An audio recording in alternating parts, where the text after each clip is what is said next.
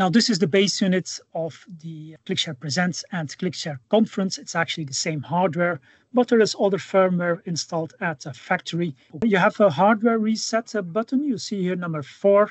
Now there is a little trick to it. You have to take out the power if you want to hardware reset. If you, for example, forgot the uh, password and you need to go back to factory uh, defaults, it will not forget, of course, the latest firmware but otherwise it's like it's out of the box, like it's a, a new uh, installation.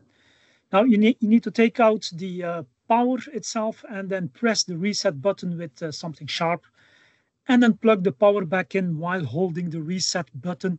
And you really need to look in front, so it's a little bit unhandy, but you need to see if the uh, lettering is blinking rapidly in red and then the uh, hardware reset is done.